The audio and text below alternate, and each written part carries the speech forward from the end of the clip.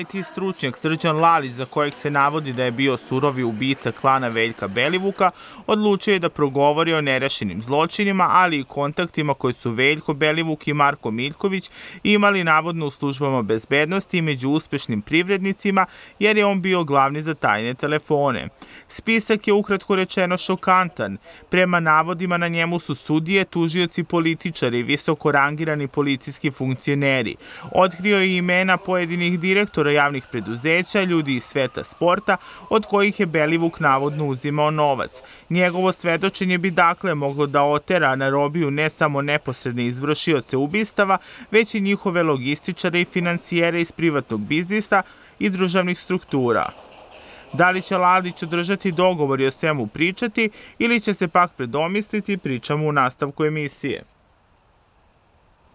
Ovome pričam e, sa mojim gostima u studiju, a to su Momčilo Bulatović, predsednik Advokatske komore Beograda. Dobro jutro. I uh, moj kolega Mladen Radulović, urednik portala kurir.rs. Uh, Mladene, mnogo je informacije o tome šta Željko Lalić je spreman da kaže, uh, da, i uh, šta je već on rekao. Evo, čuli smo negde u, u najavi ovog našeg razgovora mnogo toga, a sada su se pojavile neke informacije navodno da on uh, je želi da ispriča sve vezano za uh, ubistvo spornog investitora sa Zvezdare, a takođe da posjeduje neke flash drive-ove na kojima je, su veoma bitne informacije kada su kriptovalute u pitanju, je li tako? Jeste, e, tužilaštvo zapravo tokom pregovora sa samim e, svedokom okrivljenim koji je sada već dobio kao status Srđan Lalić zapravo nastojalo da izvuče dodatne informacije od, od njega o surovim ubistvima i o svemu onome što se radilo iza zatvorenih vrata kuće u Ritopeku i ostalih kuća horora koje, smo, koje su postojile tokom poslednjih nekoliko godina. I sad prvo da naglasimo da su te ono što nekada bilo najveća, znači vrhovna tajna kriminalnog klana, sada zapravo je ono što tužilaštvo traži da se obelodani kako bi upotpunili i zaokružili mozaik svoje optužnice i bili sigurni da će svi optuženi biti stavljeni na e, teške robije. Sad Lalić je, e, e, postoji informacija da tužilaštvo zapravo imali informaciju da Lalić još nešto znao o nekoliko bistava i da je da su čekali zapravo da mu daju taj status svedoka okrivljenog dok ne ispriča sve o još nekim krivičnim delima. I upravo tu u tom kontekstu se pomenje ubistvo investitora Mirka Kojića koje, za koje zbog nekih e, različnih e, okolnosti Lalić očigledno nije hteo da najpre da priča, ali kasnije, pošto nije dobio taj status koji je toliko želeo, zapravo je rešio da progovori i pričuje detalje tog ubistva i sad prema dosadašnjem toku istrage e, priča se da je Kojić ubijen, a zatim kasnije ovaj, iseskan i samleven u Ricepehu na koji način mu na taj način mu se izgubio svaki trag. Tako da ovaj sad postoji informacija da je zapravo Lalić otkrio informacije o, o ubistvu Kojića i da je zapravo to bila posljednja ta karika koja je tužilaštvo čekalo da ga stavi na tuženičku klupu i tu upravo se pomenje ona Sky komunikacija i navodno je na taj način upotpunio zapravo taj jedan delić istrage koji je falio da se e, otkrije ko je zapravo iza određenih nadimaka na Sky komunikaciju i Navodno je taj e, e, koji je dao izjavu ubio sam dva kuma, e, zapravo Marko Miljković, to je sad operativna informacija, pa se očekuje da će Lalić potvrditi i tako nešto. Da, gospodine Bulatoviću, Lalić je treći iz klana koji ima status svedoka okrivljenog. Zbog čega Veljko Belivuk i Marko Miljković ne mogu da imaju takav status, odnosno status svedoka saradnika? Vidite, ja ću se uzdržati od komentara o konkretnom predmetu, jer to inače nikada ne radim. Znači, nisam branac tom predmetu i ne znam pravo stanje stvari, šta se dešava i to. Ja mogu samo, što se kaže, pravno-teoretski da vam govorim šta je u pitanju. A e, tužilac je taj koji pravi dogovor sa okrivljenim, okrivljeni se regrutuje iz jedne kriminalne grupe i nudi se da bude svedok okrivljen. Ranije je to bio zakon svedok saradnik, sad je svedok okrivljen i svedoka osuđenog i tužilaštvo koristi tog člana te grupe da bi došao upravo do ovih podataka koji im nedostaju da bi mogao da sklopi neku optužnicu i da rasvetne neke stvari gde je da, kako kažemo, figurativno tanak. Ako tužištvo smatra da su ovi okvirni Miljković i Beluk organizatori kriminalne grupe, oni kao organizatori saglasno zakonu ne mogu da dobiju svedo, status svedoka okrivljenog. Uh -huh. To je suština cele stvari. Dobro. E, I e, Mladene, e, Lalić je prema nezvaničnim informacijama takođe odlučio i da progovori o vođi kavačkog klana Radoju Zviceru i njegovim vezama sa ovim klanom, odnosno konkretno sa Markom Miljkovićem i Veljkom Pa da, to je sad na nivou operativnih informacija. Za sada, mislim, koliko smo videli u dosadašnjem toku istrage, sem operativnih informacija, ne postoji niko ko je potvrdio zapravo konkretnu vezu i konkretne ovaj, komunikacije sa Zvicerom, sa, koji je bio jedan od vođa kavačkog klana sa takozvanim beogradskim ogrankom ove grupe. I ukoliko potvrdi Lalić i ukoliko ovaj, ponudi opipljive dokaze, njegov, bi, njegov status bi mogao da ojača kao, status, kao svedoka saradnika.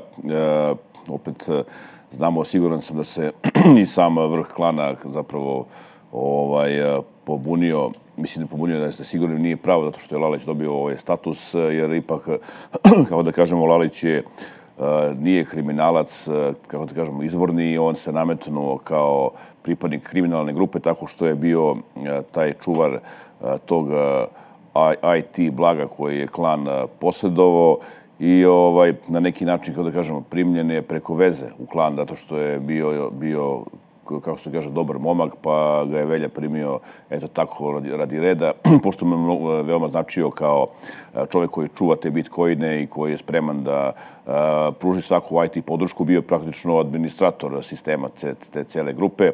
A pa su I sad je sigurno... šta se dešava upravo sa tim bitcoinima? A, mediji su spekulisali da je klan dosta nekog prljavo stečenog novca upravo ulagao u bitcoin.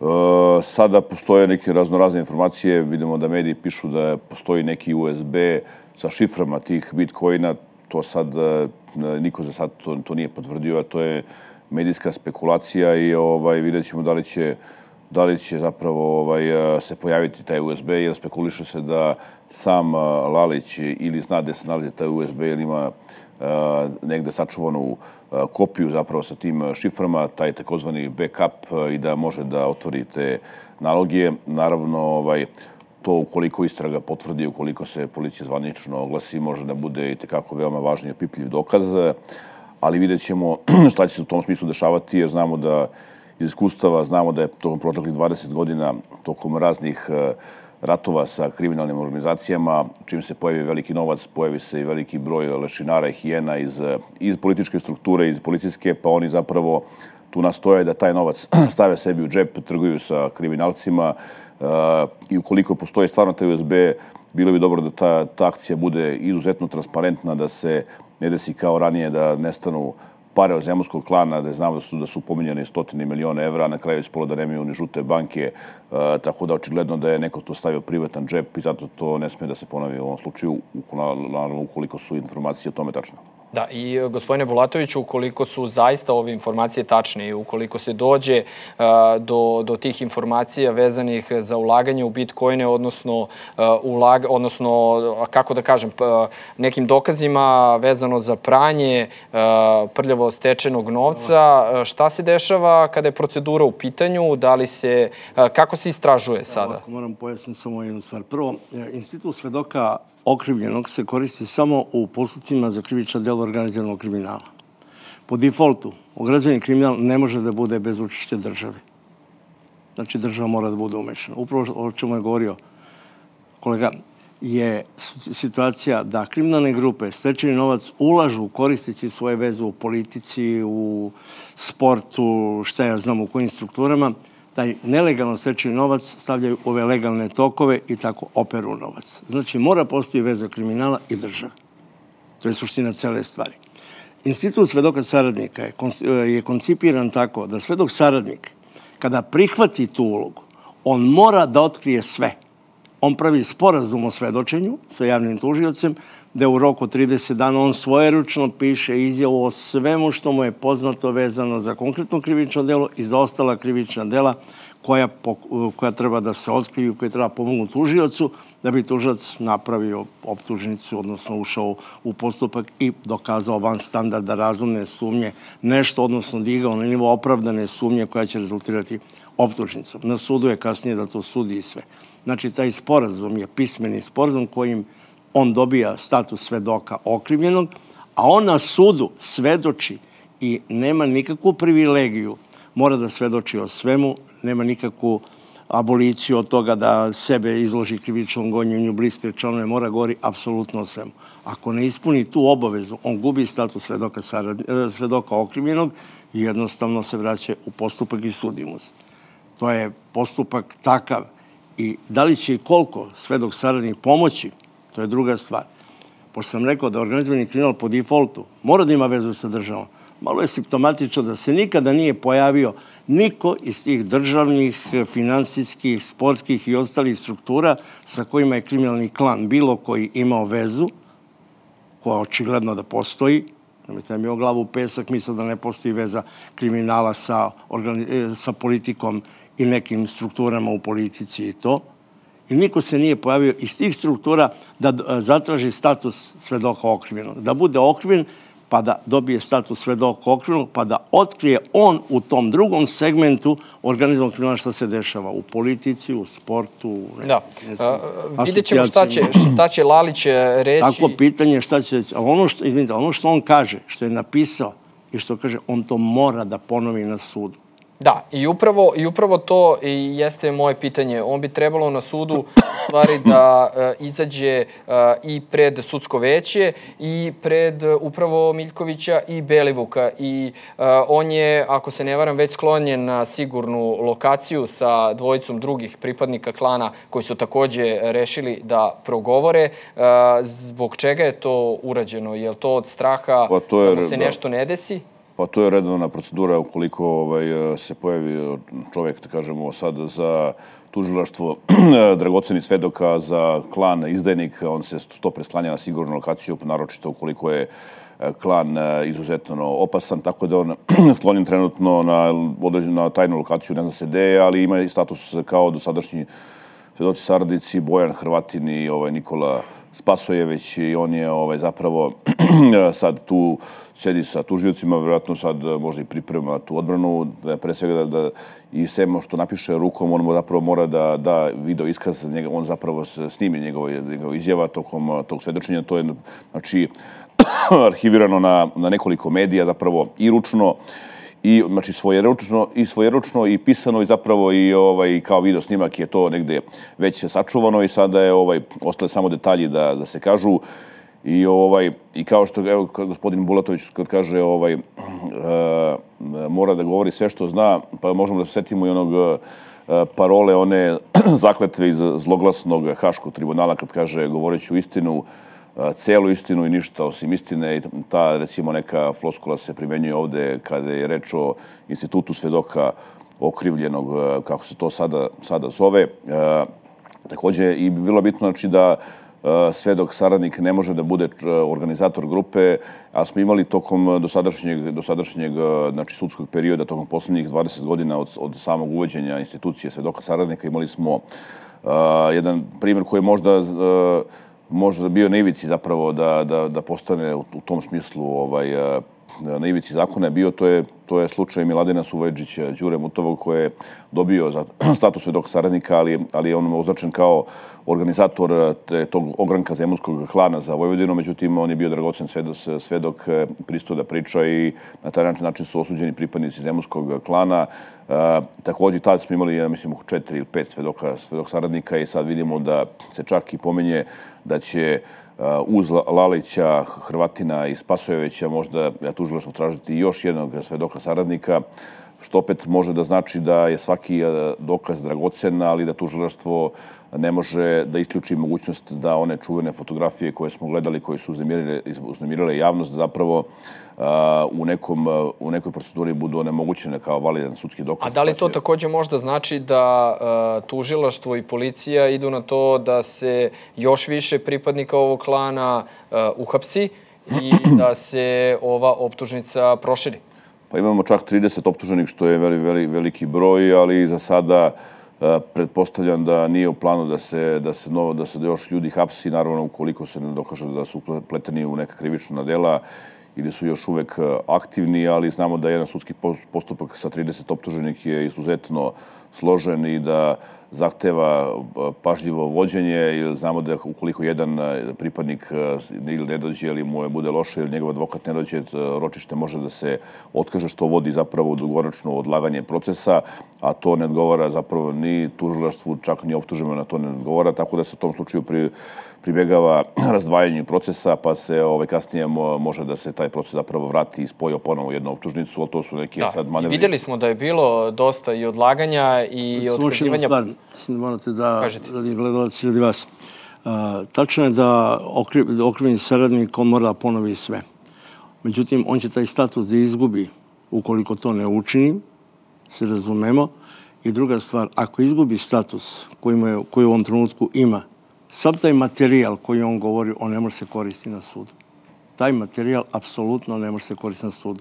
Sve što on rekao, što je napisao, što je pružio dokaze, apsolutno ne može se koristiti na sudu. Da, ali moramo znači, još jednu uslov, stvar... Uslov da se to koristi što je on rekao da. i na što je ukazao je da on svedoči i ispuni obaveze i sporazum o svedočenju koji zaključi sa tužijacom. Da, ali trenutno moramo da kažemo još jednu stvar. Uh, kada se završi cijela procedura, zar ne, evo vi ćete to bolje pojasniti, kada on sa tužilaštvom uradi sve ovo o čemu ste vi pričali, on tek onda treba da dođe pred sudsko veće i tek onda da, da se je. kaže da, da, tako može je. ili ne, ne, ne može. A ako ne ponovi to, ne ispunite obaveze tog sporazuma koji prethod prethodi ovome da se on pojavi na sudu, to sve što on rekao jednostavno gubi status okvirnog e, svedoka to jednostavno se sklanja, više ne postoji u spisima jednostavno i to zaboravite, kao da nikada nije postojalo, da. kao da ništa nije rekao i on se vraća u poziciju okrivenog i sudimo se normalno koji ostalim. Iz vašeg bogatog iskustva i sada ovo što je Mladen rekao da ima čak 30 e, ljudi na ovoj optužnici, da e, postoji tu pregrž dokaza, evo imamo i e, tri svedoka okrivljenog,